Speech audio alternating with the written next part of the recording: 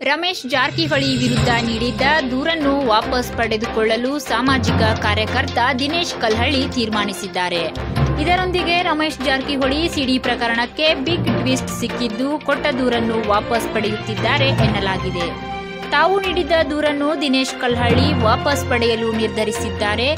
ವಕೀಲ್ ಕುಮಾರ್ ಪಾಟೀಲ್ ಅವರಿಗೆ ಪತ್ರ ರವಾನಿಸಿದ್ದಾರೆ. ರಮೇಶ್ ವಿರುದ್ಧ ದೂರು ಸಲ್ಲಿಸಿ ಈಗ ಯು ಟರ್ನ್ ತೆಗೆದುಕೊಂಡು ದೂರು ವಾಪಸ್ ಪಡೆಯಲಿದ್ದಾರೆ ಎನ್ನಲಾಗುತ್ತಿದೆ.